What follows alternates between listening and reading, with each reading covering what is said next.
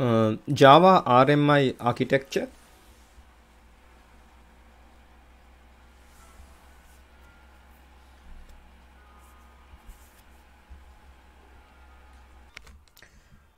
Here you can see a Java RMI uh, architecture in uh, in a different view. Um, in a distributed system, applications run in all different machines in a network. Uh, these applications need to communicate with each other uh, and uh, each other to send commands and exchange computations uh, computation results from time to time.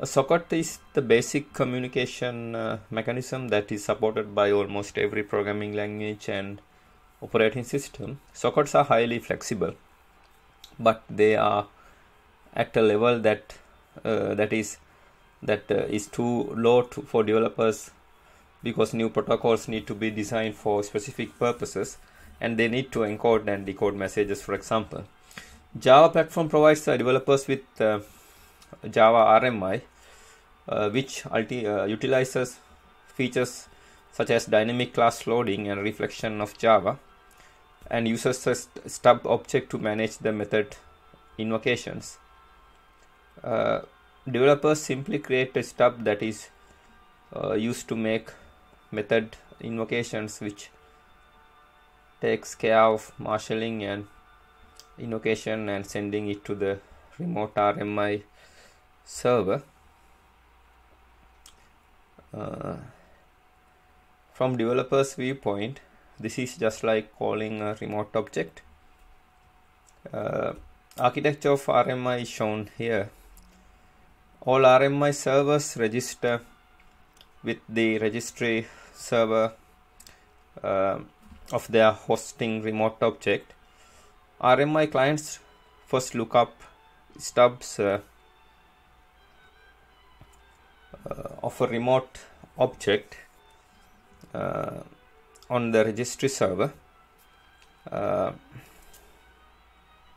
which they subsequently use to call their corresponding remote object. Uh, stub is very important in uh, Java RMI. It acts as a remote object to the client application by implementing the same interface as the remote object.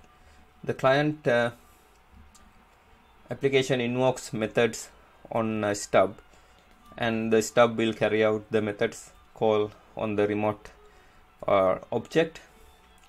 It marshals the parameters to the uh, remote JVM, uh, wait for the results and uh,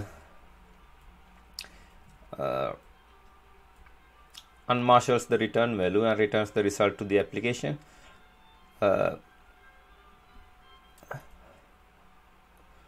In this work, uh, this application, um, so here uh, you can see a stub and transport inside client. Here stub and transport inside client. Uh, client. Uh, clients interacts with registry uh, transport interacts with server here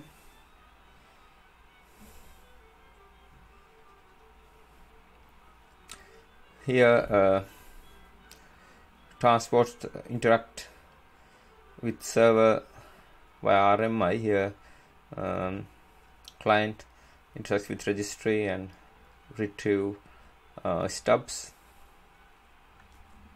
Now uh, this is the uh, end of my presentation. Thank you very much for watching it